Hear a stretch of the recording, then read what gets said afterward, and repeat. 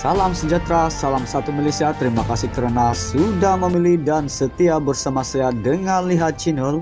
Semoga kita diberikan kesehatan dan semoga segala urusan dipermudahkan serta impian akan tercapai untuk kita semua. Baiklah, kita teruskan mendengar isu-isu menarik untuk kita semua. Kesemua penjawat awam termasuk peserta layak menerima bantuan khas keuangan Aidilfitri 2022 meskipun tidak mempunyai status vaksinasi yang lengkap.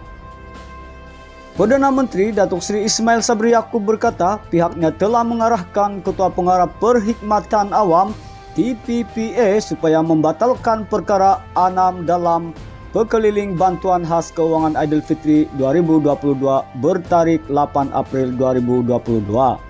Ujarnya, pengumuman yang dibuat sebelum ini tidak menyentuh mengenai soal status vaksinasi bagi mendapat bantuan berkenaan. Pengumuman awal oleh saya sebelum ini tidak pernah menyatakan sebarang pengecualian bayaran kepada mana-mana penjawat awam mengikut status vaksinasi. Ini bagi memastikan bahawa tiada ada penjawat awam atau pesara yang layak menerima bantuan ini daripada tercicir menurut Perdana Menteri dalam satu kenyataan hari ini.